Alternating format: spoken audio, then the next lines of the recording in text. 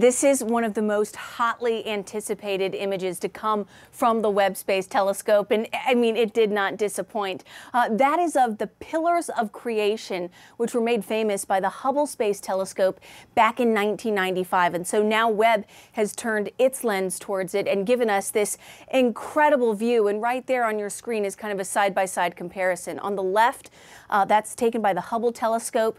It's an optical telescope, so that's actually what it looks like, what our eyes would be able to see in space. And then on the right is the Webb Space Telescope, an infrared telescope. And so it's really able to peer into those clouds of interstellar gas and dust, which make up what appear to be those sort of rock formations. But the real stars of the show here are the baby stars, Erica, and you're right, they are quite cute, right? Because what's really neat here is this is where baby stars are born. And so those bright red spots, those are actually baby stars.